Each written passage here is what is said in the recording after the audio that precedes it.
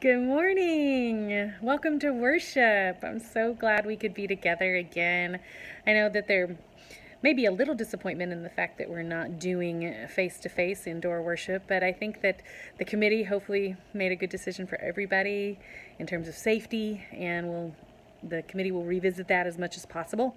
But we need to celebrate worship in every way that we can online, and we need to celebrate the ministry of the church because, again, COVID has not knocked that out of Green Trails Church.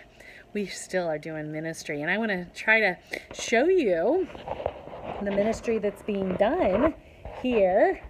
I'm going to try to walk down the aisle so you can see all of the work that you have done for the Epworth Children's Family and Children's Services for the homeless packs. It's a long walk, friends. I'm still walking.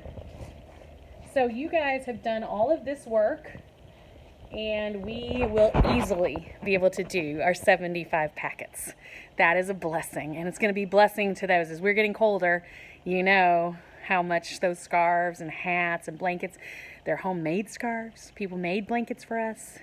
It's such a generous act of giving. Thank you so much. Now, we're not done yet.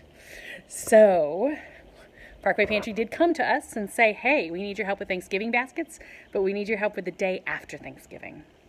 So, the challenge is 250 pieces of pasta, boxes of pasta, and 250 jars of pasta sauce or some kind of pasta sauce, could be a box. Now, the real challenge is they need it by November 11th.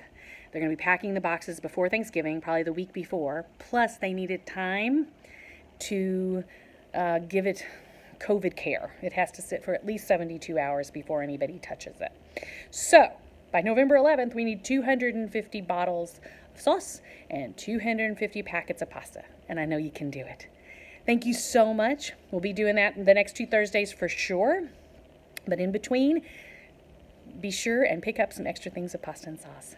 And welcome to worship.